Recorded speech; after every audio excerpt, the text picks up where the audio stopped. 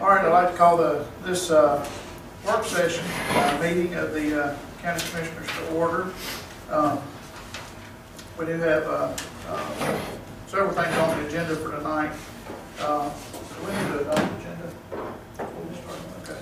Commissioner, one thing I'd like to add on, on here is, uh, talked with um, Commissioner Holbrook uh, just a little while ago, and we want to add on just a, a quick discussion, economic development discussion. We'll put that as number five, and we'll work it in, uh, try to work it in before we break uh, today, so.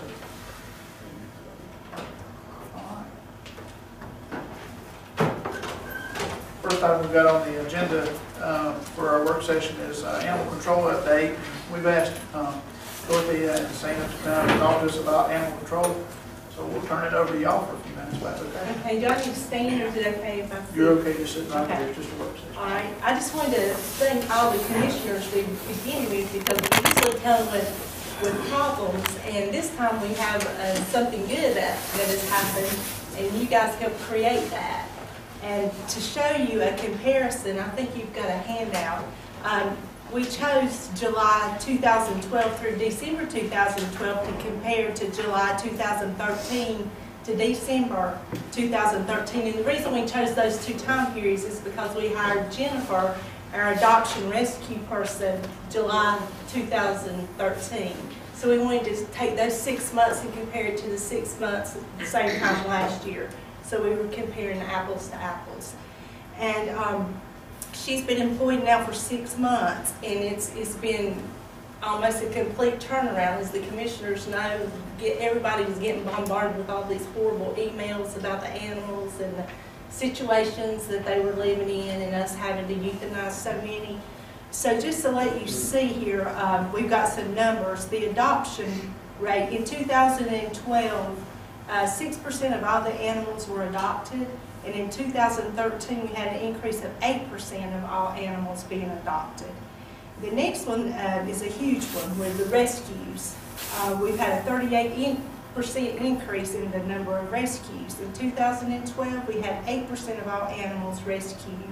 In 2013, we had 46% of all animals rescued, and that is a huge jump there, which shows you that um, uh, our rescue adoption person is really doing a fantastic job. She's got a good rapport with all the animal activists in the county, as well as um, she's well known in the community. She has a nursing background as well and is familiar with all the diseases that animals carry and can give vaccinations as well, which is a big plus. Um, Moving on to the next item, the total number of animals saved in 2012 was um, 18%, and the total animals saved in 2013 was 59%. So as you see, that is a huge increase. And if you want to break it down farther, to look at the number of cats, uh, in 2012, there was 3.5% saved to compare to 2013, 37.5% saved. And then for dogs, uh, the number saved in 2012 was 31%, and then the total number of dogs saved in 2013 was 80%. So you can see a huge increase in the number of animals that were saved. Uh, If we move on down, um, the euthanasia, uh, there was a 42% decrease in the number of animals that we had to euthanize. In 2012, 79% of all the animals were euthanized, compared to 2013, only 37% of all the animals were euthanized. And then we break it on down to the animals that were um, euthanized by carbon monoxide. There was a 28% decrease. In 2012, 64% of all the animals were euthanized by carbon monoxide. In comparison to 2013, only 36% of all the animals were euthanized by carbon monoxide. And then if you look at the euthanasia, euthanasia by injection, in 2012, we had a 36% of all animals were euthanized by injection, and then in 2013, 64% of all the animals were euthanized by injection. So as you see, uh, we had a goal, a five-year goal, and we surpassed that goal, uh, which was fifty percent to have the animals euthanized, uh, fifty percent with, uh, injection rather than carbon monoxide as a five-year goal, and we've surpassed that already. Dorothy, I- I- Yeah. the reason why I asked, uh, and I asked for y'all to come over here tonight and to present this, because I knew that we were going in the right direction on some of these things. And um, uh, Hearing you say that in the last six months, that we've decreased the use of carbon dioxide by twenty-eight percent, um, increased the use of lethal injection by sixty-four percent, um, exceeding that goal tremendously. You know, y'all done a great job with that. Um, It's, it's very commendable. Um, My question is, um, with the type of success that we've had reducing the use of gas chamber uh, in a very short period of time, can y'all formulate a, um, a plan to eliminate the use of the gas chamber altogether? Um, And can we start a countdown, number of days and months, so we'll have that gas chamber removed from? That would go a long way with working with a lot of these organizations um, to help build more support for them. Chair, if I may, if may make a comment, I think, okay, I'm for eliminate the gas chamber. But I think if you're putting them at a disadvantage given the day, because we eliminate it, because we do get wild animals, we get different things that the gas chamber needs to be used for to protect our people. When you say a day countdown, we eliminate it, I think right now you're tying your hand to say, okay, all animals will be disposed of otherwise. When you've got wild animals you got to take care of, you have aggressive animals that you can't touch, it's more humane to use other methods and to tie them down. Now Sam may think different, but, you know, I, that's what I'm taking, Sam, you got any ideas on that, or is there, is there a way of doing this? Well, without the gas there- there's a lot of things that's happened in six months. I mean, thank God we're, we have reversed the number of animals were euthanized by carbon monoxide and lethal injection. And just to- overall, the number of animals we're having to euthanize. The staff has really changed. Uh, it's, it's amazing how one individual, uh, as humane and caring as they all are, has changed their, their ideas about how they want to keep conducting euthanasia whether we do carbon monoxide or whether we do gas. One thing that we received about eight months ago was from the wildlife commissioner, the head guy, basically telling animal shelters, quit euthanizing all these wild animals. Just because you're trapping them, why are you euthanizing? them? It's unnecessary and actually it's illegal. And so with that said, in talking with Tripp on the wild animal policy that we have, when we trap in wild animals, they're not sick. And and typically, we're dealing with a public health issue with rabies and skunks, foxes, and raccoons. Well, all this stuff is not rabid. It's- We're just having to catch them more, we're catching them more as a public nuisance than we are because they're sick. A sick animal's not gonna go in the trap and eat if it has rabies. So we've recognized that. So we, we are gonna have to start, Johnny, looking at our policy of maybe catching and releasing it or relocating to fall in line with the memorandum that we got from the head man and the wildlife commission, which you know, we, we kind of become friends with those guys. So we want to stay in line with their policy. So that is still an issue, Johnny, and uh, looking at some other ways of, uh, how can you do it other than carbon monoxide? There is methods out there. And so we're kind of like, we're looking at this kind of anyway before yeah, yeah. I- Commissioner I- Falls asked that, because we're like, because my staff is getting to the point too, is like, we don't like using a chamber. So it's like, uh-oh.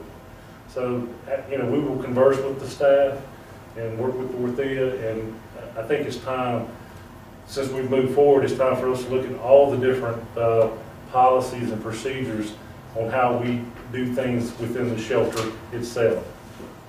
Whether it's euthanasia, whether it's adoption, whether it's spay neutering, you're on the task force, and you know, hopefully we can bring something in, in a positive direction to get animals reduced out in the field instead of us having to deal with them.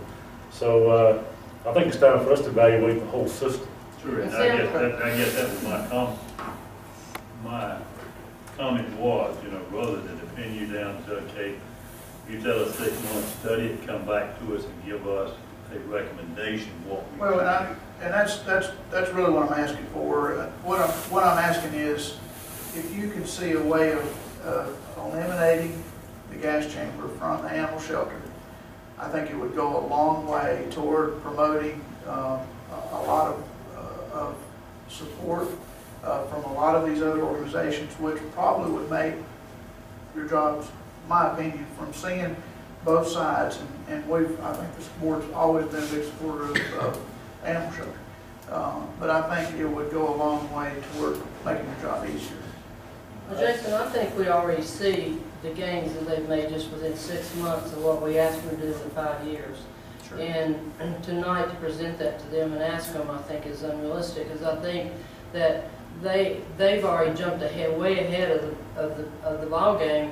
And I think in six months, with even asking them, they'll be presenting that to us or what they want to do. So I think we, we need to give them, give them some breathing room. They, they, they have, they just, with bringing Jennifer on, they have made leaps and bounds um, over at the uh, animal shelter of what they're doing, as you can see.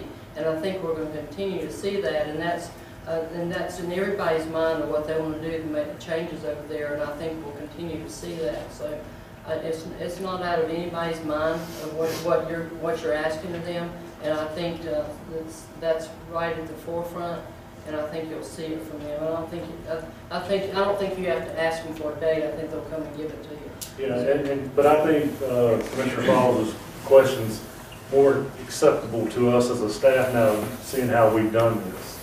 And that we have the staff that we have, and when I got staff coming to me saying, hey, we don't like this gas chamber. So it, they, it's gonna be received very well to try to come up with some type of a plan to be able to eliminate the gas chamber. But we, we, we can handle that now. Six months ago, I told you, no, there's no way, because we were putting down seventy-nine percent of everything that walked in that door. Now we're not. So that, that's eased up on, on us as a, as a staff as far as the time, uh, and, and the, basically, the mental, uh, effect that it has on my staff, euthanizing something in, in their own arms. So I think it's more acceptable now, and we definitely will look at all the different programs, Mr. Falls, and come back with you recommendations uh, as we put together the animal control budget, working with Dorothea and Jeff, saying, hey, you know, if we would eliminate a chamber, well, we're gonna need something to replace that machine instead of the reverse. Normally, machines are replacing people. Now, we may be reversing that and asking for some additional help to, to make this a reality. So we will definitely look at all these, uh, programs within the shelter during this, this budget cycle. And the request that I make is not any disrespect to, to what um, uh, the health department or the animal shelter has done. Y'all have done a tremendous job, and, um, it- you know, a year ago, I wouldn't have even thought this was even something that we should be talking about now. Uh, You know, we've talked in the past about, you know, some of my concerns, some of your concerns as well. Um, I think with the numbers y'all are showing, um, you know, this is, this goes into some of the goals that we've got later on uh, that the county, the county has set forth, or the commissioner has set forth, so. uh, Well, we are in the minority of having a gas chamber, we're like eleven, there's eleven counties left, so it's moving toward that way, whether we like to or not. But now that we see that it's possible, that it could probably happen, I think, you know, eventually that it will, and I do plan to go back to talk with the staff and, and get their support, and, um, I think that it it could probably happen. You know, something that's making this doable more today than it was yesterday is because you guys gave us a position to make this happen. And so, you know, we were being pressured eight, ten months ago, stop the chamber, stop the chamber. Well, they, they needed to give us an opportunity to react to, to what we're dealing with.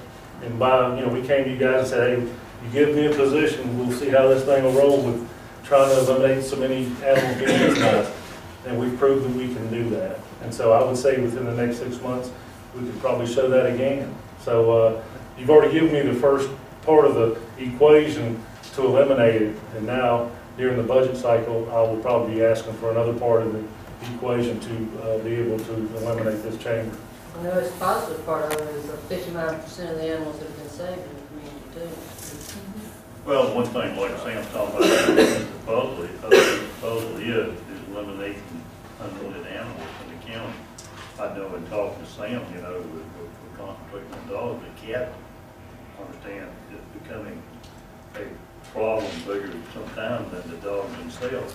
So in doing, eliminating unwanted animals, we're looking at spade neutering. And if you do spade neutering, it's gonna cost money. So that's what I think Sam alluded to, with over the next six months or so, that he's gonna come back for a budget, and, uh, if we want to complete this task, if you have, then we're gonna have to be willing to step forward and, uh, more personnel and more money to do the programs if you want it But, but in order, the, the heartaches or the hardship that we, we get from folks out in the community, and, and more the humane community, not just the community in general, is, is the carbon monoxide chamber, number one. And then number two was the, uh, the, the opening hours. So, you know, we talked to Dorothy, we want to look at the number of hours, how we can extend that, and, and- and possibly asking for your help to, to support that. And then the, the other one was to uh, eliminate the drop box that's out in front of the shelter. I mean, we catch it all the time. Why do you do that? Why are you doing that? And so we, we, we hear them, but it's like, give us time to react.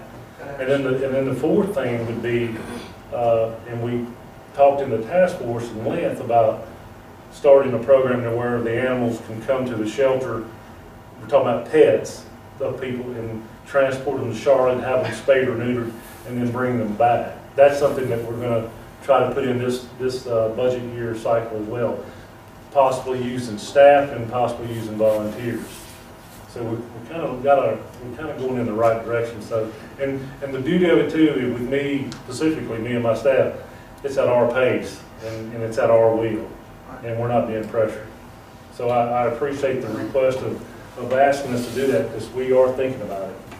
Do you, do you, uh, out in the community, do you sense that, uh, as people as a whole are, are more in the mindset of controlling animals, or do you sense there's many rampant animals running on the loose, or do you get a feel for that at all? I know you, it's hard to measure, but just Well, we get our, you know, within the municipalities, in the more populated areas, you, you get more complaints about animals being nuisance and what have you.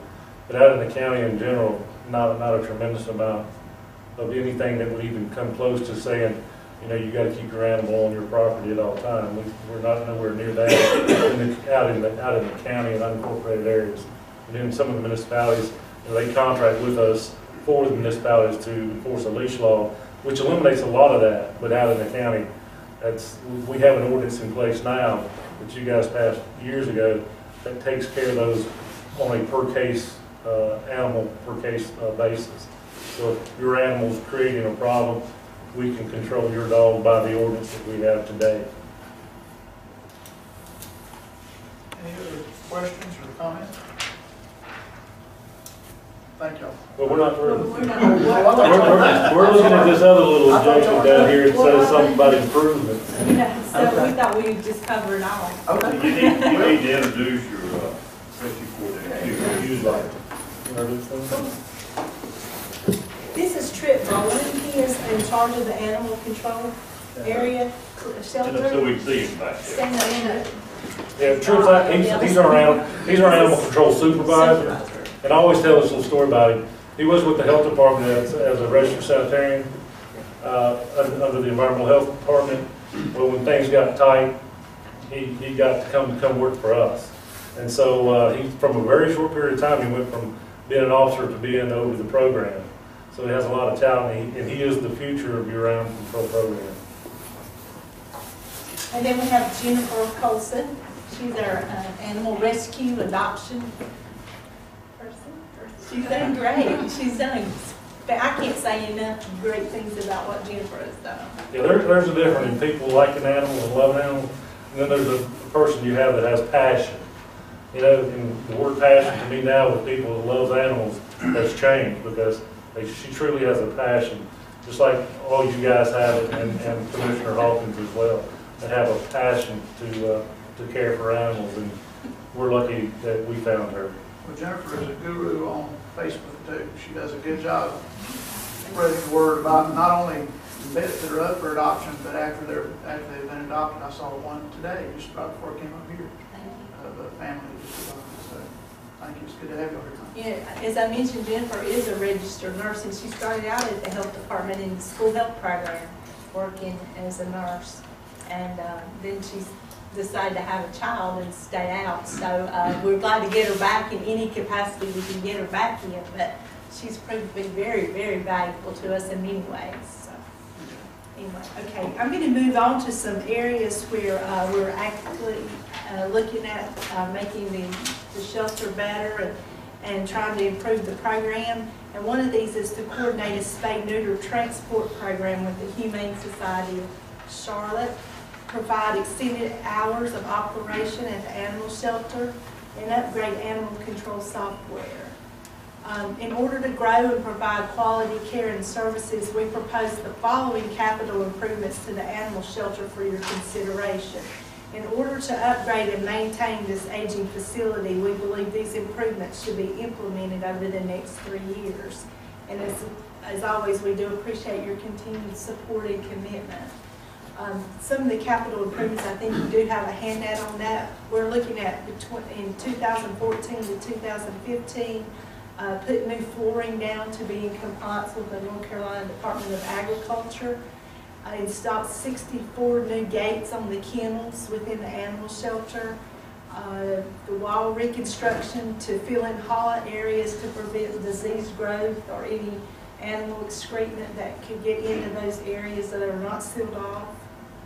And then we moved on to 2015-16, repaint all the walls inside the animal shelter, uh, replace uh, the ceiling to a product that's a vinyl type material to modernize, improve the appearance and to easily clean the facility.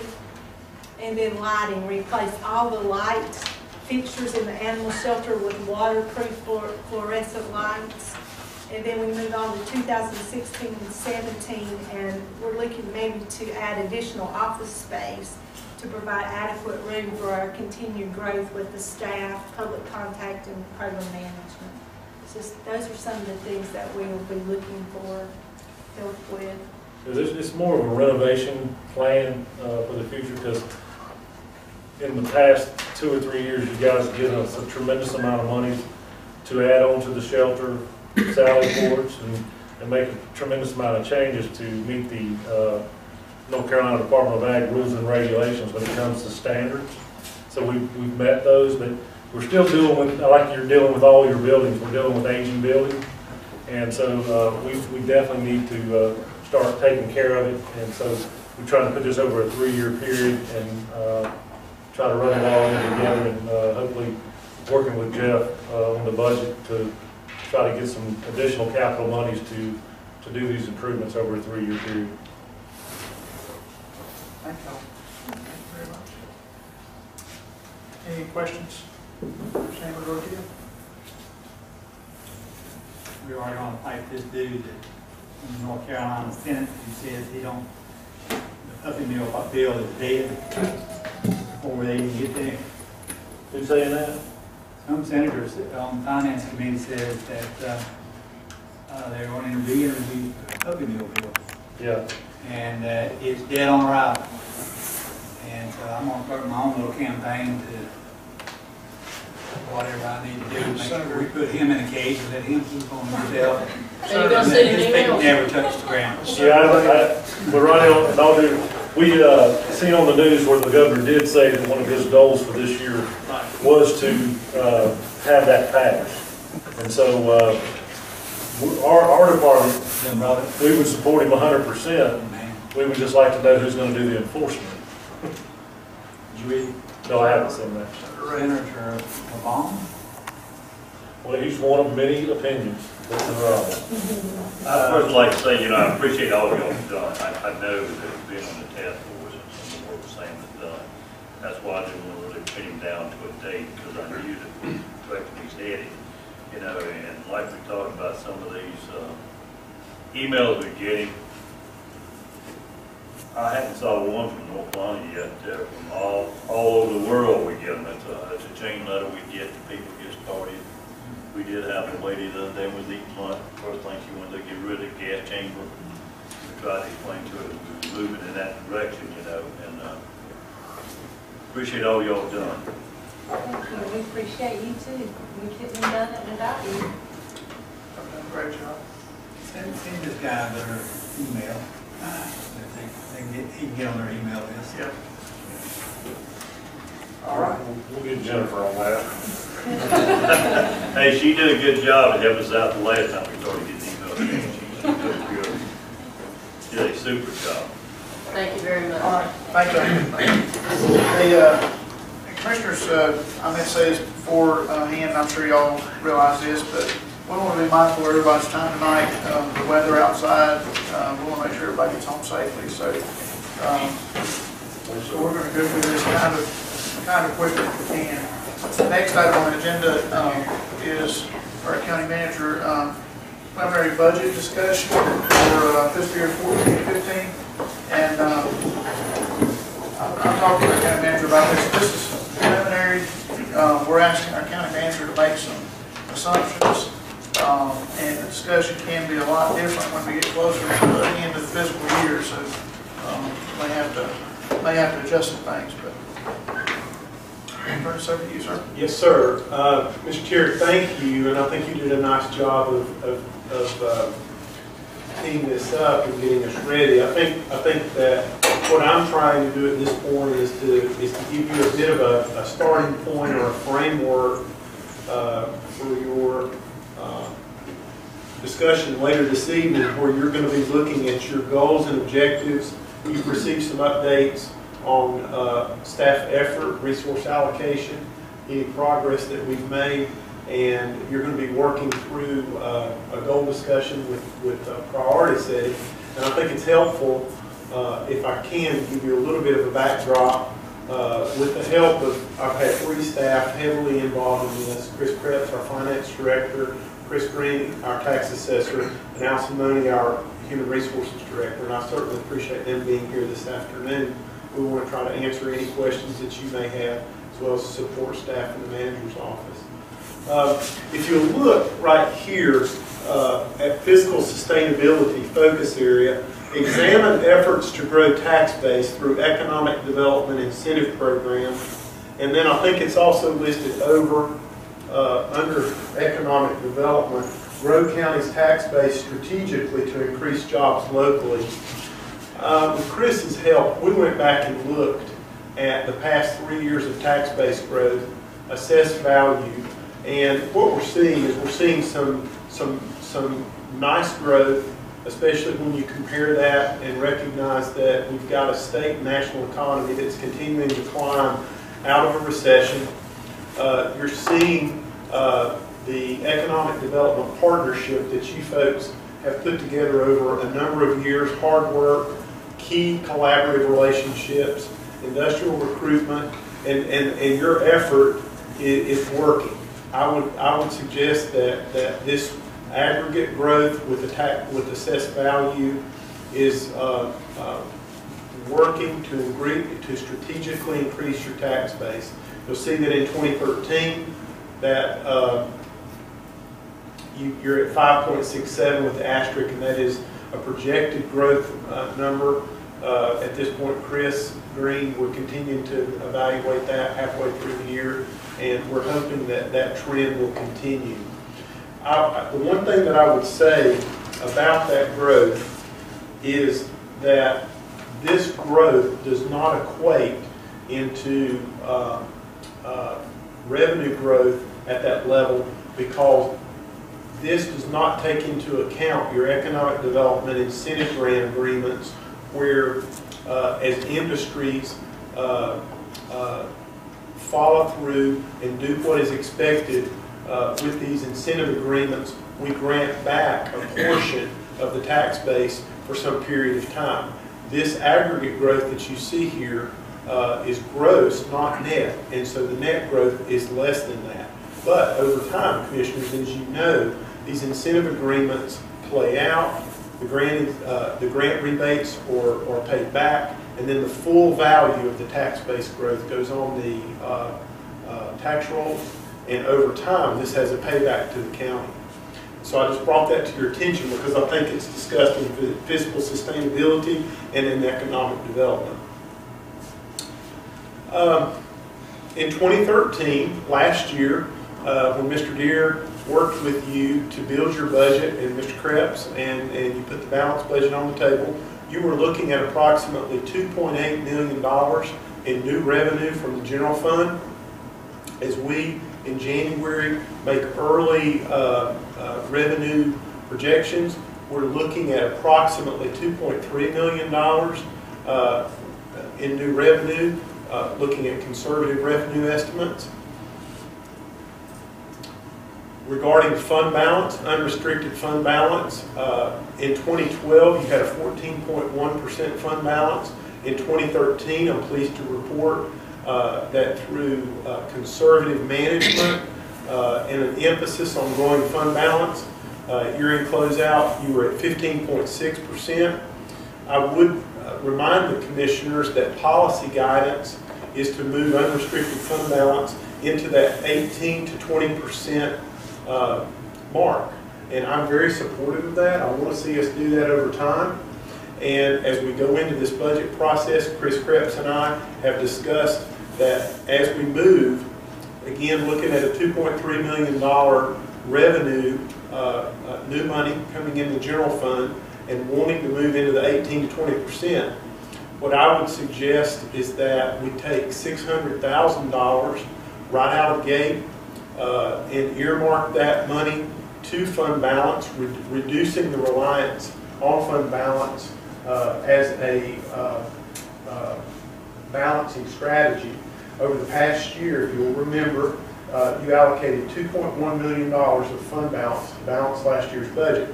If we take 600,000 as we go into this budget process, earmark that off the top, that would take that reliance down to approximately uh, $1.7 million. And where I would like to see us go over the next several years is I'd like to get that under a million dollars. I'd like for us to go into our budget process each year uh, with a uh, fund balance appropriation of less than a million dollars. So with the size of our budget, once we get it down under a million, somewhere between 500 and a million, I think you're going to need to see flexibility at that level to where I don't see it as an issue. That, uh, that coupled with a fund balance somewhere in that 18 to 20 percent mark, which is what you previously asked for, I think is a good, sound uh, fiscal management practice. And if we're able to get there, I'll be very excited. Now, what's challenging about that is that if we do that right out of the gate, if our revenue estimates hold true over the next uh, several months, we're looking at starting a budget process with about $1.7 million of new operating money, okay? And so for tonight, several things uh, that I'd give you to think about, and that may be almost too small for you to see, uh, is that if we start the process with about 1.7 in new money, right out of the gate, uh, Allison, Chris Krebs, and I have been looking at our healthcare fund and the size of our healthcare fund to be able to continue to provide uh, health and dental to our employees. If we look over the last 12 months, medical inflation is about 8%. So if we roll our healthcare fund over next year, if we're fortunate enough to take our current healthcare model, roll it over next year with an 8% inflation number, we're going to need to earmark about $500,000 of new money and, and move that over toward the healthcare fund. That's a good year. With the size of our healthcare fund, if we're able to continue to provide it and roll it over with an 800, I mean, with a seven, uh, $500,000 expenditure, again, inflation in, in the medical area is about 8%. That's what our experts are telling us. I tell us that we need to just earmark that and sit tight. Regarding employee pay increase consideration, I've had discussions with several commissioners, and you, you continue to be concerned about uh, our ability uh, to pay our employees a competitive wage, that we keep up with inflation, and that we provide uh, a competitive uh, uh, wage to our, our employees. 1%, uh, if we were to earmark 1% for next year, that's $360,000 of new money. And so at this point, I'm not recommending anything or suggesting anything. I'm just putting out for your consideration that if we're able to do something across the board next year for employees to keep pace to some degree with inflation, general inflation, it's be hundred and sixty thousand of new money, and I'm just putting that out as a placeholder right now for us to consider as we move forward. Uh, Other things that are unknowns, departments received uh, budget papers and instructions from Chris's department around uh, January the 10th. Uh, Budget documents are due back to the finance department March the 10th. So departments are working on budgets as we speak, and they're probably going to continue to work on those for another six weeks. Go back and forth on technical adjustments, but really, it's just too early to determine what departments are going to need, what, uh, what increases they will have experienced that are outside of their control, new position requests, uh, and so forth. Finally, I put a $483,000 placeholder in for social services programming. If you'll recall, last year in mid-February, we heard from the state that uh, increases at the social services level last year was almost a half million dollars. That's the uh, fiscal year 13 increase. Uh, Karen Ellis and her team will hear something in about three weeks. And, you know, I'm hopeful that it'll be less than that. But the point in sharing this with you tonight is that, uh, again, I've walked you through how I've, how Chris and I have got to an estimate of a potential 1.7 in general fund new revenue. I believe that the 500,000 for medical inflation, we can go ahead and, and, and, plan for that. There may be additional adjustments that need to be made on the employer side, depending on how that fund continues to uh, perform between now and the end of the year. I've talked to you a little bit about the cost for uh, base pay increases across the board. Too early to tell what department needs may be, and then I flagged what I think is a big item that's totally out of our control for the most part. To be clear too, on this, on this slide, you're not recommending a one percent No. employee pay rate increase. That's No. just to say that one percent increase equals three hundred sixty thousand. You're exactly So if we look correct. at two percent, you multiply it. You're exactly correct, and I appreciate you repeating that out loud, because I don't want to be misunderstood that there are no recommendations here tonight. This is just meant to give you the general framework as we move forward, to give you a feel for what we're looking at uh, with the resources that we've got. I'm almost finished. One, one question. on Oh, yes, sir. I- yes, sir. There you go. You got for the department operations and expenses and so forth, what direction should you gave the departments? You know, for example, hold your own or cut? What justifies you employees? Exactly. What, what direction has been given to the department heads? Department heads have not seen what you have seen this afternoon. I intend, well, Well, you said that you're working on it, so you should have gave them some instructions for something to Exactly. Yes, sir. Chris Krebs and his staff sent the budget work papers out January the 10th, and it would be similar to in the past in sending that out. In terms of giving them the backdrop, though, uh, that was about two weeks ago, in giving them the backdrop that you've seen this evening, this is information that we have worked up probably just in the last seven to 10 days. I'll share this with department heads tomorrow, and then we'll be talking about it. Uh, I, I guess my ahead, I'm question, sorry. my question is in the past, when we started approaching the budget, one year we said, okay, we want to cut two percent, or we want to hold employees where they're at, unless really justified.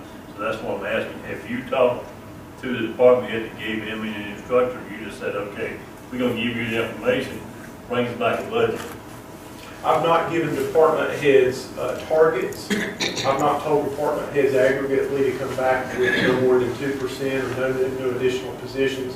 What I've told department heads, and I met with them in January, was any big ticket, anything that would be uh, significant in this year versus last year, that I'd like to meet with them and talk to them about that individually. I think that when we take this and pass this to department heads, it's going to give them a framework that they need to understand about how much money aggregately that we've got to work with across the county. And uh, uh, I, I don't know really what to expect from them at this time. I may see some, some I guess what I'm, what I'm seeing is, there's not gonna be any extra money. What you're asking is, are they looking for any way possible to cut? the budget? yes. That's what we would be asking. Can we do better them?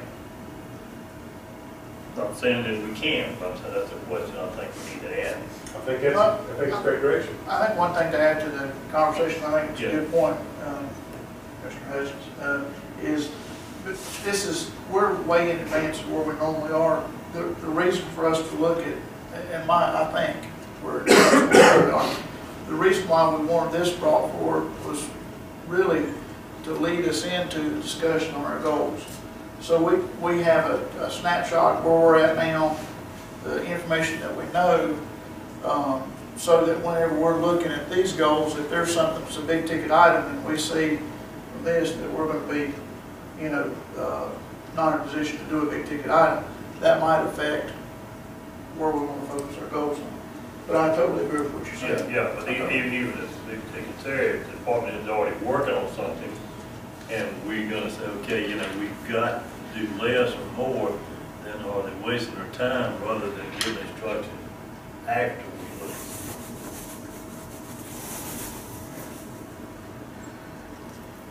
I think that what the board can be assured of this evening is that I will work, as well as Chris, uh, we will work diligently with departments between now and March when they submit their final paperwork to determine that they have exhausted opportunities to save money, if there's opportunities to look for um, combining services, uh, redesigning programs, not filling positions or collapsing positions, re-engineering uh, work processes to save money, uh, to do more with less. We will exhaust that process between now and March. And I think that, that uh, the message that we send there will be consistent and will align well with what we see to be modest growth, but a continuing challenge of paying for uh, uh, things that are getting more expensive, and then, you know, not having, you know, not having money that we need maybe uh, to address some things that departments want, needs versus wants. And so I don't want to belabor that, but I, I want to assure you that we'll spend a lot of time with departments on that. I think if I'm an departmental head, once you show me those figures, then I'm gonna, I'm gonna form some pretty uh, definitive conclusions. One is, if I'm expecting to uh, increase some requests, I'm also gonna have to find some cuts to offset- offset that. Good point. Because really, basically, you look at that, you're saying to departmental heads, basically, this budget is almost zero increase, it's flat. Uh, So if you come in asking for an increase in your budget, there's not money there based on this initial uh, proposal that you're giving to us. So maybe this will help do what Mr. Hutchins is saying.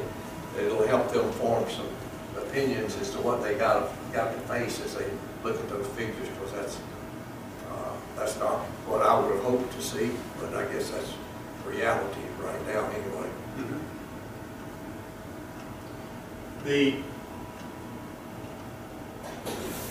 let's see, I wanted to take a second, because several commissioners have talked about uh, the fact that the plan has been frozen for some period of time. And uh, what I, would- what I wanted to share with the board tonight is that the graph, the, the graph that April put together for me really outlines, out of about 760 staff, we've got over fifty percent that are at step one or two of the pay plan. We've got nine steps in the pay plan. The pay plan is frozen. And as we examine uh, where employees fall on the pay plan, it's important to note that two-thirds of the workforce uh, is between steps one and four. So in theory, if we were to turn the pay plan back on, and it's in theory, to ask ourselves the cost uh, of of reinstating the pay plan as it's currently designed.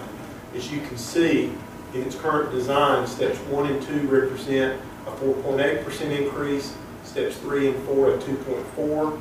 A third of the workforce is between step five and nine, and that's, that, that does not go with it automatic step increases. But if we were to reinstate the pay plan as it's designed today, you would be looking at approximately uh, $1.7 million to reinstate automatic step increases. And so it's, this is good analysis from Allison and her team in Human Resources. It tells us several things about the age of our workforce, about where they are on the pay plan. Uh, I would argue that we continue to need to watch for uh, uh, retention issues because typically the closer people are to the front of the range, the more apt we are to lose them and the earlier they are in their career. And so you have a, have a higher turnover rate and we continue to monitor that. It's just a, a fact of where we are after several years of having the pay plan frozen uh, due to uh, our inability to afford it. What I would ask for moving forward uh, for tonight, uh, this is early in the process, but I would ask the commissioners to uh, allow the staff to continue to examine our current healthcare fund design.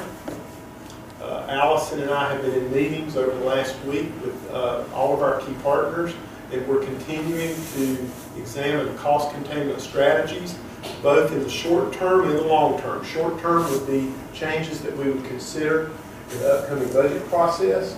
Long term would be a year out. And I want to have the ability to continue to monitor that. I think that was one of the concerns when I was brought on board back in September, is that you uh, uh, explained to me that you'd like to see us take a look at our healthcare fund and examine cost containment strategies. We're well on our way, and I'd like your support for us to continue to do that. I'd like also, and I emphasize this is long-term, and and that's probably a year, let's take a look at pay plan design alternatives. Let Allison, her staff, uh, uh, folks, maybe we need some outside expert assistance, look at our existing pay plan. I would argue that looking at where we are today, this is probably not affordable in its current design to bring back online anytime soon. And so maybe over the next year, what we do is come back to the board next year at this time and look at some alternatives. What are some alternatives that we can consider with pay plan changes uh, that give us a little better forecast for what we're trying to do with our workforce uh, and our pay strategies? Question, question on that. I've talked to you about it before, like the hash step to two point four something per step. Could we keep in mind, looking, say, okay, if this coming year's budget can produce some extra dollars, maybe looking to see instead of a two point four step increase, we go a one point two step increase something to that effect, if, if any money comes available, is maybe modifying it, not going through the, the whole step, but do a modified step if, if money's available, because I'm you, you know, with the number of people we checked on, yes, uh, good while back, that, uh, you go downstairs and brought it to me, and that, I don't think, I don't think, um, government and pay, pay is any different than private corporate America. Uh, Private and corporate America had to re-examine pay plans and look at alternatives. Uh, I don't know how long our pay plan has been in effect, but I think you probably make a good point. If, if private and corporate America are having to examine yeah, these things, maybe it's time for us to re-examine our pay, our pay scale and pay plan also. I think it's a good idea to look at it. Well, I think your point's right, right in the bullseye. And uh, uh, the most critical element of the pay plan is that it's affordable. It's the most critical element. And I think Allison and her team over the next year can, can take a look, benchmark and see what's going on uh, in other areas and, and look at alternatives. And keep you up to date as to what we're looking at, keep our workforce up to date, uh, so that we know that we're, we're trying to look at what's uh, affordable and effective uh, a year out. I think, follow up on what Commissioner Hutchins was saying too, I, I, I think it, you, it has a gigantic impact upon employee morale. Uh, If employee morale sees that they're gonna be fixed because we're basically frozen, if they're gonna be fixed in one to four for fifteen years Right. without moving, Right. and all of a sudden they start saying, well, maybe I need to start pursuing other opportunities. You know, I'm frozen at a level, I can never get above four unless it's twelve or fifteen years from now. So I think it, it- it's sort of a morale thing and also points out, I think, pretty vividly in your slide, you know, where most of them lie right now. Absolutely. Finally, the third check, and, and I'm not trying to, uh, cut, cut comment off, I appreciate the direction and I certainly appreciate the, the support. The third check would be, and I think it ties with Commissioner Hutchins' comments, and that would be to explore affordable ways to reward, reward employees short-term. Between now and the, the July one, uh, budget implementation is for Allison, the staff and I to continue to look at, do we have some affordable ways strategically that we can, um, help our employees, uh, uh, with employee pay, and bring back for your consideration with the budget. Last thing on policy guidance, and this is moving to the capital side, I looked at our capital budget, and really the only thing tonight, uh, before I turn it back over to you, Mr. Chair, is the Law Enforcement Center Court Services Expansion Project, and it is part of our CIP. I'm prepared to move forward uh, and negotiate with the school system on Patton Drive property uh, as a strategic uh, purchase to uh, tie back to our goal of pro- prolonging the life of our law enforcement center courthouse. Uh, I think that the Patton Drive property represents about 10,000 square feet of office space uh, with very minor upfits, if any. We can bring that online, and we can do that in a strategic way and look at all of the court services that are tied into the law enforcement center. Uh, And our goal is to expand uh, the space inside the law enforcement center in order to prolong the life of it. And so what I'm asking for tonight, and, and it is in the budget, but for me to be able to move forward would be, I've got a placeholder for that property at five hundred thousand dollars. And then I've got a placeholder of two hundred and fifty thousand dollars for necessary renovation. We're exploring what moves make the most sense from a, a, a cost efficiency standpoint. And, uh, certainly this would not be the last time the commissioners would hear about this. This would all come back to the commissioners for final review and final approval, uh, at the appropriate time. But I'm just asking for your support, if, if there's support for me to continue in that, uh, uh, analysis and to start discussion with schools. I, I I would encourage you to do that, just look at, look at the figures. That's what, fifty dollars a square foot for- ten thousand square feet? And then to renovate it, and we're going through a building expansion program right now with the health department. And we're seeing pretty quickly what the cost of new construction is, far above that. Uh, What's, the location of that facility? Yes. sort of ties in with our other government facilities It does, that's well said. It does, it does have multiple uses. It's a, it's a phenomenal piece of property. Uh, it's not just the instructional center, but also the Hunter, uh, uh, school building, which has, uh, we're right now using for, uh, some immediate space needs, storage needs. And so, uh, our maintenance department is heavily involved in this analysis. And so, with your permission, I'd continue to move forward on that. We've actually been looking at that for the last thirty years, we just not moved in that direction. But, uh, finally need to put that to rest, either move forward or get it off the table. And that's, that's, that's what I was thinking too. Now, I don't think you're, are you asking for, for us to take, you're not asking for us to take action on this tonight? You're just No. saying that you, you want to continue the discussion? I'd like to continue, yes, sir, I'd like that, I wanted to, to talk to you publicly about it, to let you know that we're looking at it, and if it's appropriate that I continue, and at the appropriate time, I come back in a more formal way, uh, at, at, at, in a, a formal, uh, commissioner meeting, uh, and talk to you before that about where we're at with it, what we're looking at, in terms of programming the space and what that does for us. Okay? Any other discussion on that project?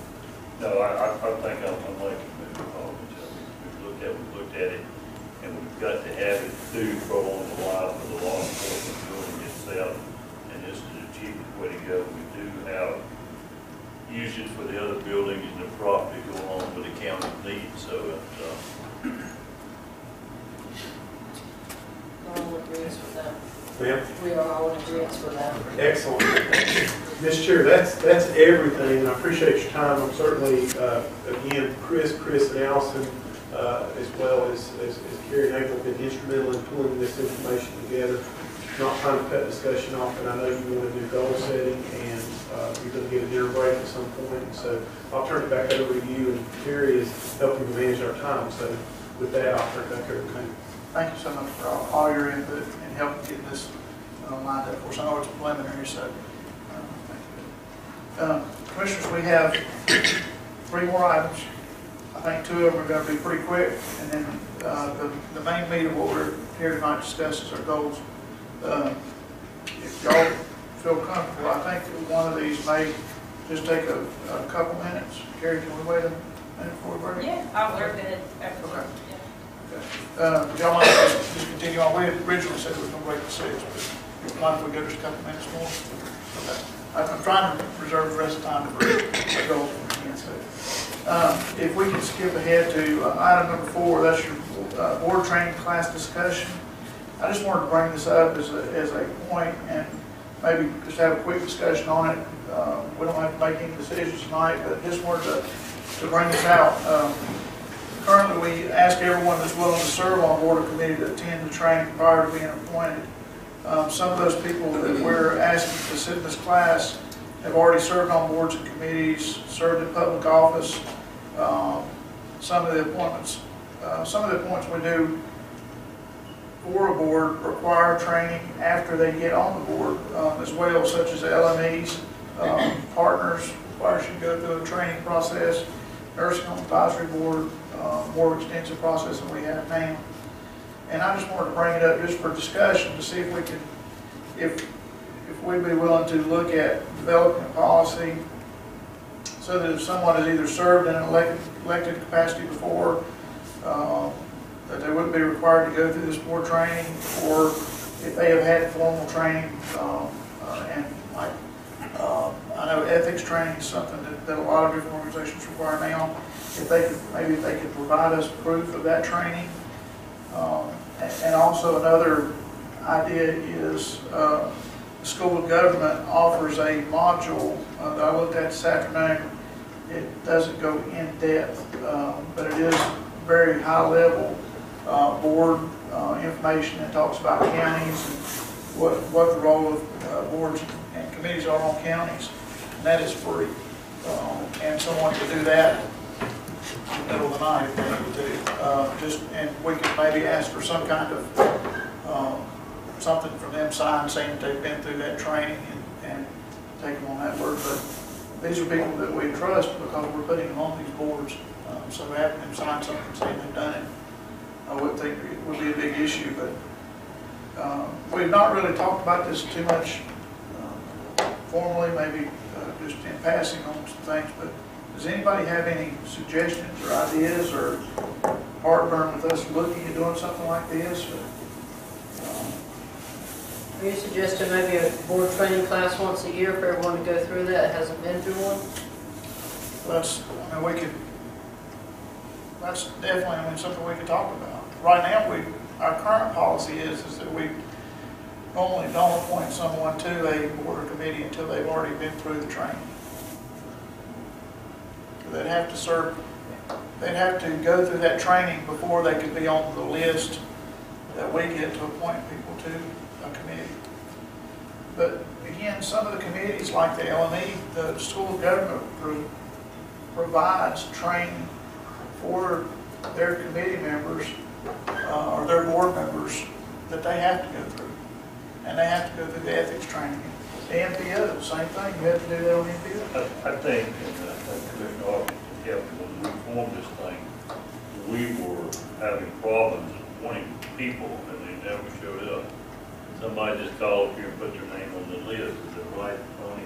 And they wouldn't show up, so we tried to devise a mechanism, so, okay, at least we got some commitment from them, even though they got other classes of the training, that if you're looking at things like I say, for people that just just say, hey, yeah, I'd like to be on it, the next thing you know, you put them on it, I think we've come up with a better, a better quality of selection.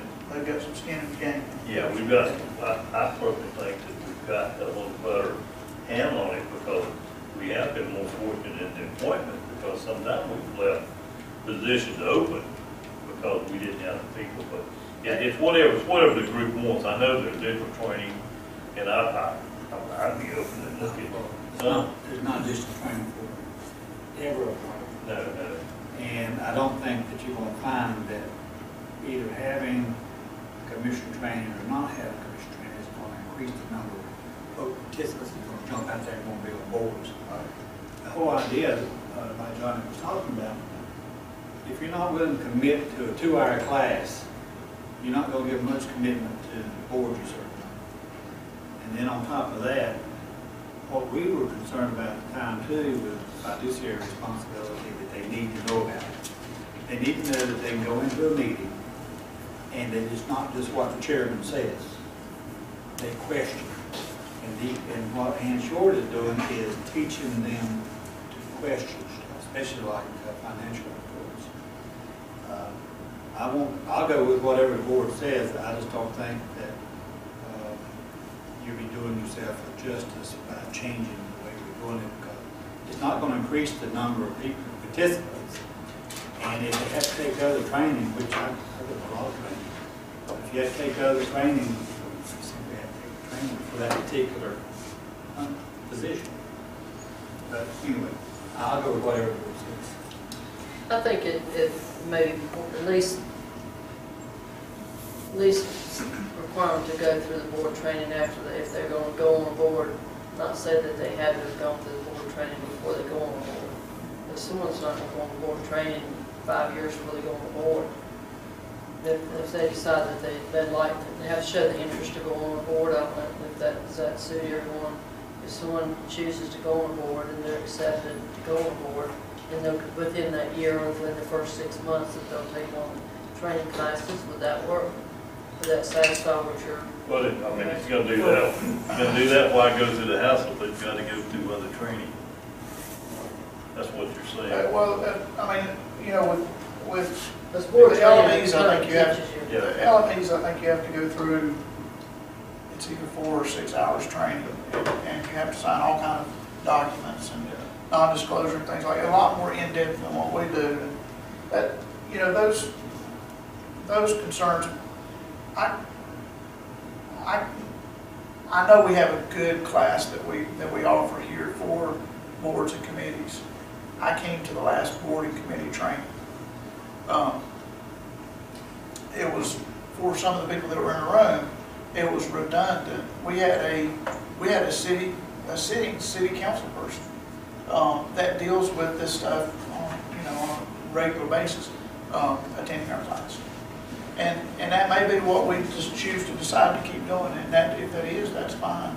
But I've had people come to me and say, why do you, why do you have me do this whenever I've served in this position, or I've, or I have to go through this other training.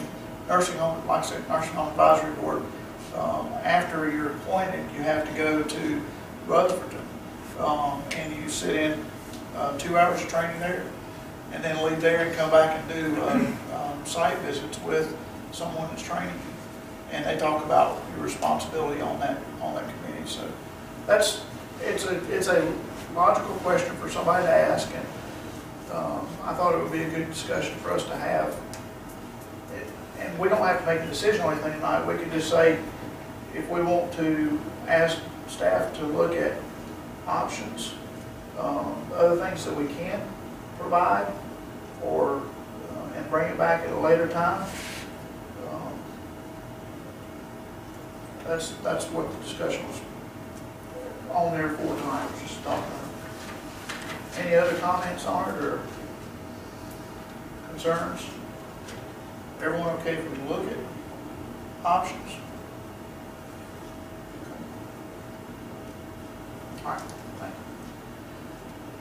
you. Um, All right, we've only got two other things. We'll, if, if it's okay with uh, everyone, we'll go ahead and break, and uh, we'll come back and You wanna go ahead and do your part now? or you I can. Okay. Uh, This, this is just for general information. Uh, I, um, The county has been notified that we are uh, a finalist for an economic development project. Uh, That project is down to three sites. Uh, North Carolina, of which Greenwood County is the site, South Carolina and Tennessee. Um, I want to, want to really underscore two, two things.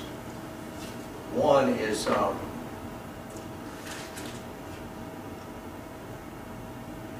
you either compete or you lose in today's economic development market, which we all know and understand. Uh, I want to brag on the commissioners by saying this, number one, that we struggle like all get out to land a hotel. And finally, commissioner said, well, we're gonna do something creative and visionary and put that in front of a couple of hotels with a drop dead sunset date. See if we get a response. And all of a sudden, two that we've been working on made decisions. Uh, So I, I think the fruit's in the pudding there. I'm saying that to say this, this project uh, has uh, up toward a couple hundred jobs. The Project also has the potential of a relocation of a distribution center. Uh, The project uh, pay scale, thousand dollars above our average pay scale in the county. So it meets a lot of the things we like, blue collar, manufacturing, uh, automotive related, which we've trying, to- been trying to attract that niche. Um, I'm gonna go down a separate road just a second. I don't know how many of you watched the news yesterday. Black and Decker wanting to relocate back into Charlotte.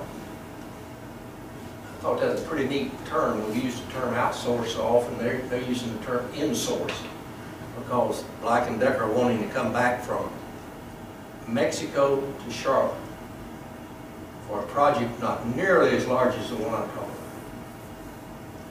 Average pay is Charlotte forty-five thousand, Mecklenburg forty-five thousand dollars a year. This, which is ten above our county, this particular project, Black and Decker, and it's in print, so I'm not revealing anything confidentially.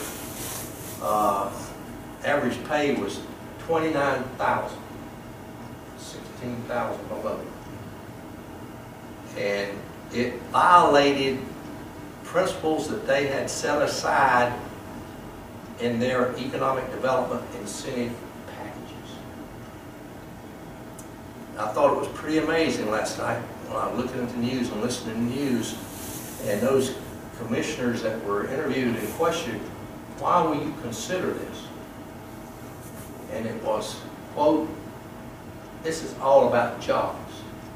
Our people need jobs. That's Mecklenburg County, Charlotte, saying that.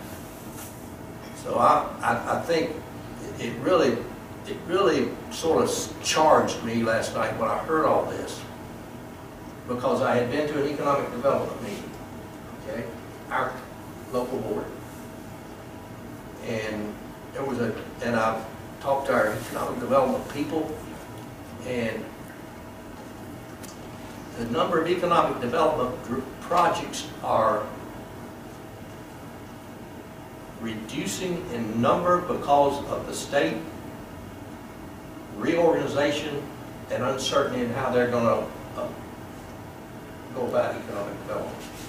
So the prospects are, are dropping while that uncertainty lies out there. And I didn't, you know as much as I do, how I feel about economic development. But I, I think, I would like to urge our board to go on record and say to them, hey, this is a project this county needs bad. I mean, it's multiple hundred jobs potentially. The pay is there. The benefits are there. It's a niche that we've been trying to work to get. You don't need to float the normal incentive package out there. This is too, this is too attractive for us to do that. Plus, as a board of commissioners saying, say to them if it's satisfactory to do so.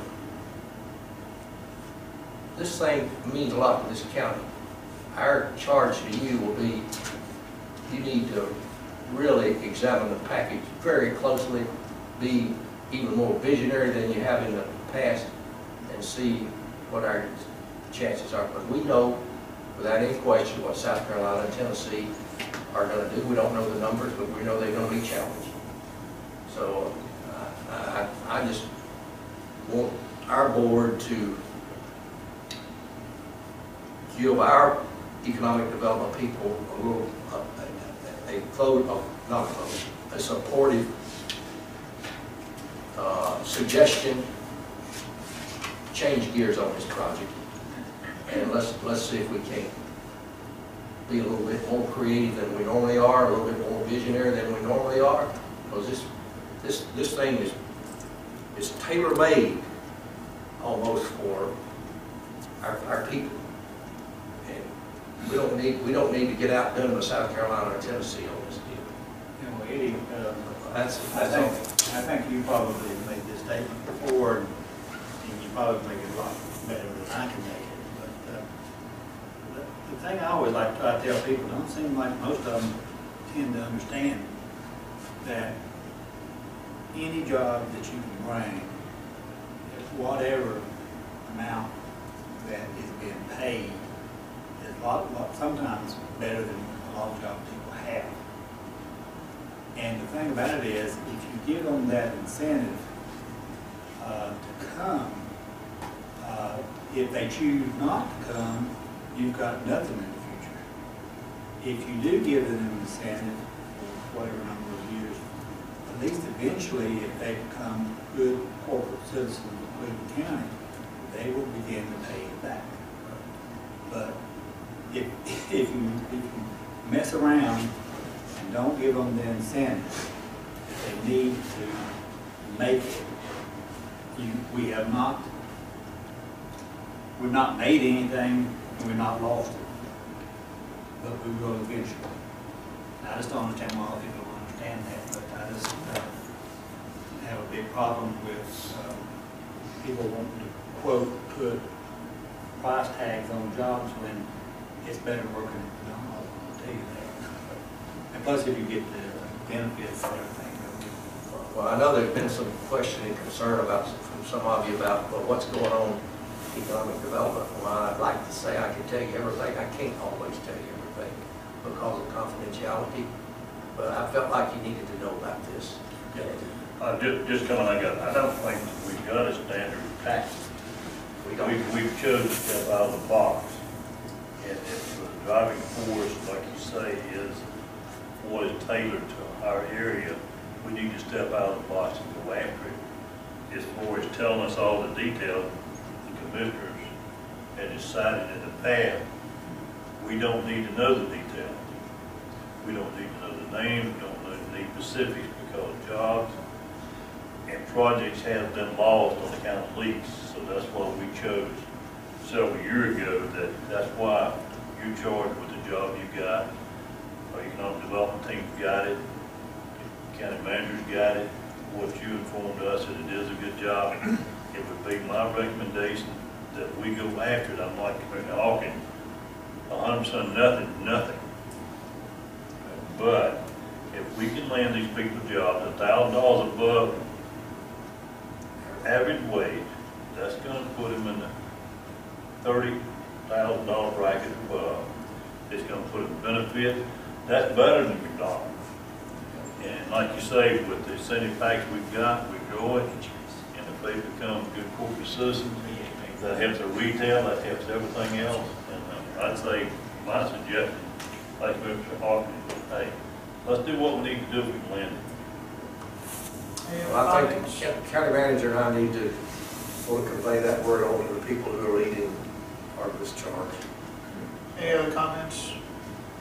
I think our economic development group has done a good job of putting packages, uh, creative packages together of the value of our community and the, the, the- life in the community college and the training programs and the things that they can bring to put into, put in those packages that has brought them so many new businesses, businesses and industries.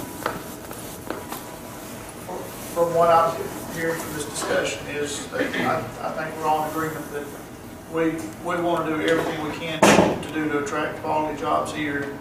And, um, if it means being aggressive, then we need to be aggressive on them. We've got a lot of great employers in our county, not, not knocking the McDonald jobs, those are good Well, jobs too. I'm- I'm- I know, I know what you're saying, I, I understand what you're saying. I totally Hey, understand what you're saying. my grandkids go there pretty rough. My, my first job was, was uh, Burger King here in Shelby, so I completely understand, it's, it's a good place. Anyway, there's nothing else on that, if we, uh, we've only got one item left, and that's our, that's our goal discussion, so how long do y'all feel comfortable with a break for, for having a cup of soup, an hour, no? Seven o'clock, be back in here at seven o'clock. minute, I'd say. I don't want to get probably too long. You wanna say, uh, how about a quarter Twenty to? Okay. Quarter to, would that be good? Don't want me to say anything. How about, how about ten to you? That's fine, I say. Uh, thirty I'm asking. Let's see if we can be done at a quarter to. Okay, and if we, if we can't be here toward till, we'll, we'll work on it from there. Got three wrecks on the way over here. Yeah, that's there. uh, I had, I had three wrecks on the way over here. Hey, come down the hill over there. There's, yeah, we need to check the Uh, roads oh, too. yeah. That's, that's, that's